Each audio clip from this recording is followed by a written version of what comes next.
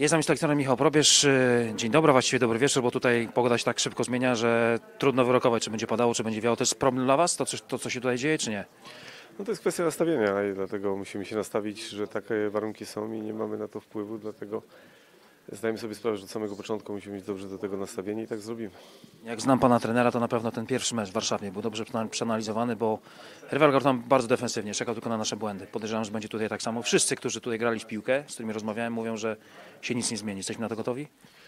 Nie, wydaje mi się, że tutaj grają trochę inaczej. No tutaj u siebie grają na pewno bardziej agresywnie i tak jak też czytając wywiad y, asystenta selekcjonera tutaj z Wysp Owczych, widać było, że jednak są nastawieni na, chcą nagrać w piłkę i tego im tutaj brakuje i na pewno to, że nie gra Robert, to też jest dla nich jakiś taki czynnik. Sam mówił, że czują, że będą groźniejsi i dlatego uważam, że na pewno postarają się też zaatakować, ale my e, chcemy mieć swój plan na te spotkanie, chcemy od początku zdominować ten mecz i zrobić wszystko, żeby tutaj wygrać.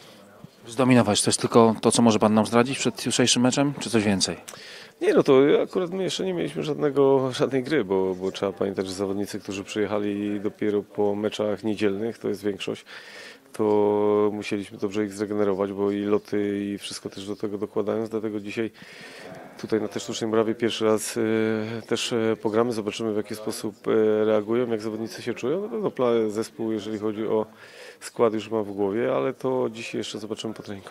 Mówił Pan na konferencji prasowej, że musi szybko wdrożyć pewne drobne elementy, no bo nie ma czasu na nic więcej. Te trzy dni, trzy treningi, trzy sesje, to jest właściwie trzecia, to wystarczy?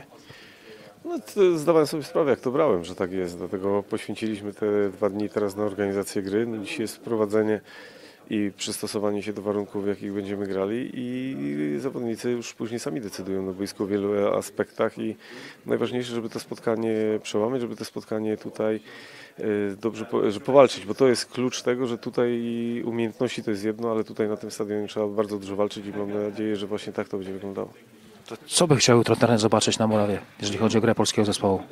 O zachowania. No dla nas najważniejsze, żeby płynność, żebyśmy potrafili się utrzymać przy piłce, ale żebyśmy też zdobywali bramki i wygrali, bo to jest teraz klucz w tych eliminacjach.